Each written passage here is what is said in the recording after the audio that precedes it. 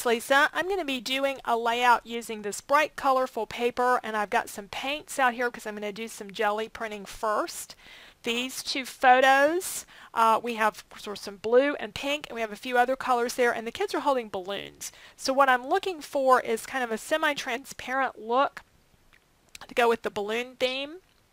I'm going to be using some um, some Gelli plates and some laminating film on top of the Gelli plates. So first I want to add some color to my Gelli plate. I don't want to completely cover up the back.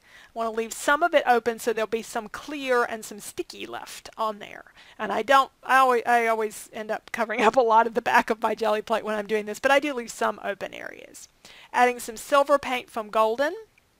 And I let, when you to do this kind of Gelli printing, you're letting the plate dry between layers, which is almost contrary to what you're used to doing.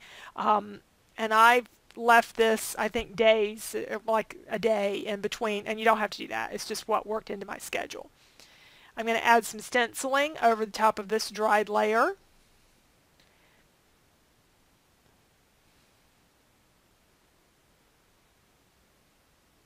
So usually, you know, you can leave it for half an hour and let it dry. Depends on your paint. It doesn't have to be that long. I'm using a couple of round objects there. That's the middle of a, a um, tape dispenser and the middle of a glue dot roll.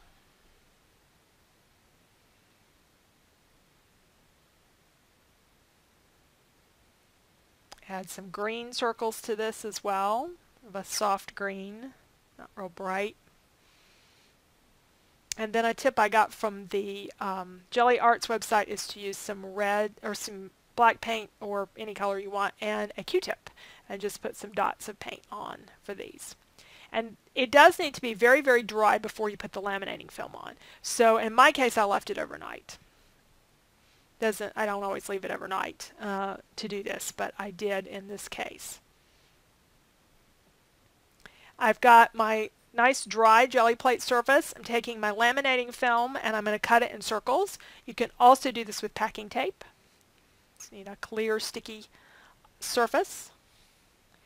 And I found that my Creative Memories cutters worked really well with this. My punches, not so much. Some of the punches worked well and some of them really got caught up in the film. It didn't hurt the punches, but they just didn't punch really well.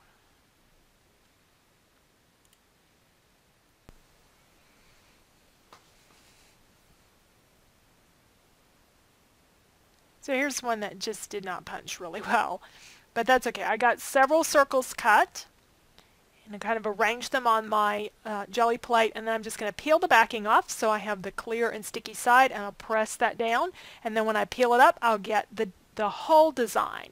So unlike most Gelli prints where the bottom layer shows up the most, on this kind of Gelli printing it's what you see on top that shows up the most. Because that's what's sticking but it'll, it'll go all the way through to stick all the layers. Now, um, I got to pick a background. I have a gray stripe and a solid gray. I'm to try some of the Gelli plates cuts on those and the solid looks really good but I kind of like the stripe because I like the playful look for this kid page.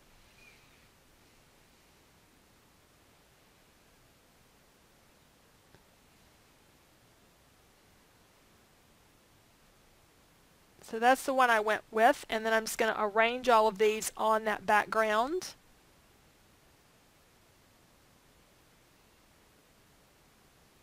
You could use any kind of shapes that you wanted, or you could use the whole background if you wanted to just do a whole piece of laminating film.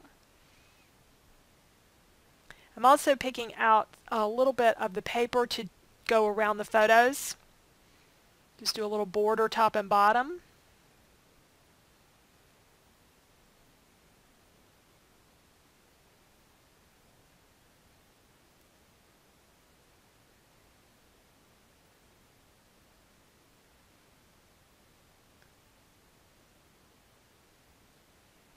And these circles have some sticky on them, but they're going to need a little bit of adhesive too because I didn't leave a lot of background that was uncovered with paint. It won't take a very heavy adhesive at all.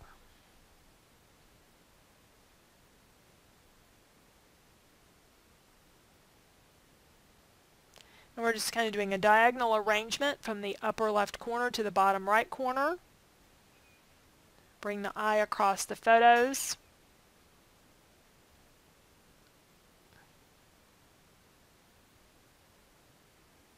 And we're going to frame the photos with a couple of uh, pieces of the 6x6 papers.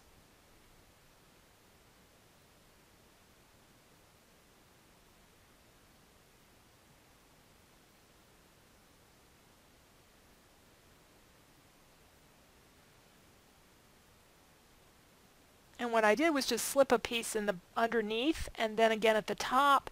And I end up with this little gap between the photos. Once I get this glued on, you'll see in just a moment there's a gap. And I'm going to end up piecing that in with just a little bit of extra laminating film. It doesn't happen to be cut in a circle, but it doesn't matter because um, all I'm trying to do is just fill in that extra space there.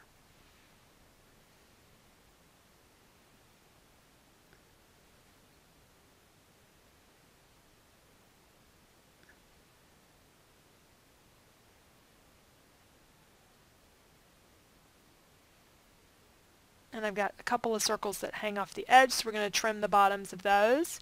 And I've decided on these um, hexagon-shaped um, enamel dots to go around the edges a little bit. But first we're going to do a title. Um, I thought this was a kid page. I would do a hand-cut title. I have not done one of these in ages, uh, but I think it will be fun. We're just picking out several different pieces of the designer paper. Not too busy a prints and it's just going to say kid fun. And this first K that I draw is too small. I'll come back and draw a little bit larger one. But I'll just draw out my letters and then I'll cut them out by hand.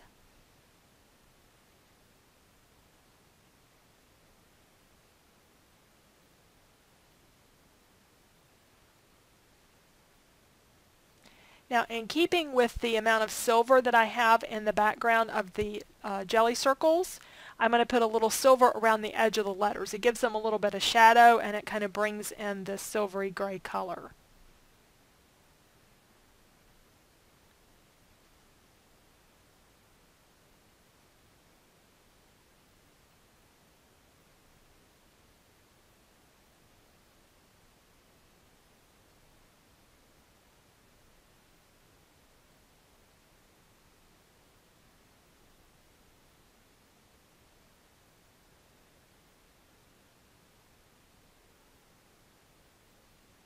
I'm sorry my head's in the way, but I'm just going around the very edge, there you go, with the silver.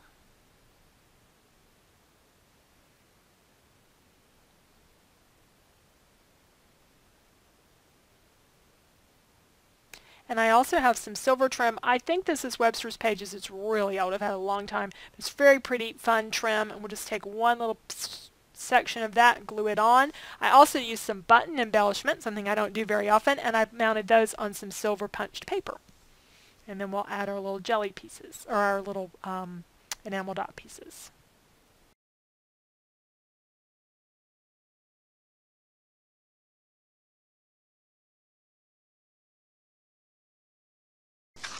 Okay, the only thing I'm going to add to this page is the journaling up here and the names and dates of the kids down here.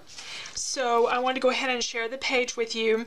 We did the Gelli printing on laminating film, which is a really fun technique, and you get that semi-transparent look to it, which I think goes with the balloons in the photo.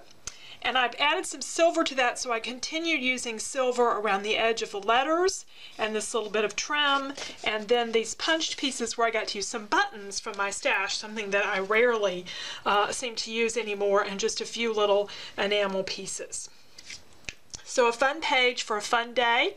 And um, this was my husband's day with his grandchildren, so I will put uh, the information up here about that.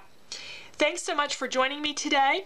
Um, I'm not exactly sure of the timing of when this video is going to go out and when my sketchbook is going to be ready, but very, very soon the 2016 uh, sketchbook will be out. It's much thicker than this. I haven't printed all of it yet, um, but it's available uh, or will be available for download, and it will have uh, 40 plus sketches, scrapbook sketches, and card sketches, and all kinds of great things in there. So be on the lookout for that. If you do scrapbooking, it's a wonderful resource, a great way to, there's, there's different indexes in there. So if you have buttons or you have um, brads or trim or something and you want to use it up there, it tells you, you know, which sketches will help you do that. So lots of good information. Thanks so much for joining me and I hope you'll check out my videos the next time around.